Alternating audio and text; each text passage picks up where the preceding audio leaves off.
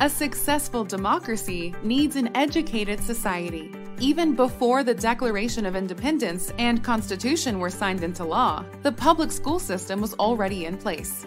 The first settlers understood the importance of a public school system, establishing the Boston Latin School in 1635. Today, the public school system is a complex, vast, and coeducational network of non religious schools, funded by the federal, state, and local governments. And nearly 100,000 elementary and secondary schools operate across the country.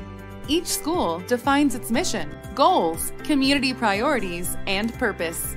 Ask a school administrator what beliefs about education distinguish this school from other schools. Keep informed about your school's educational philosophy.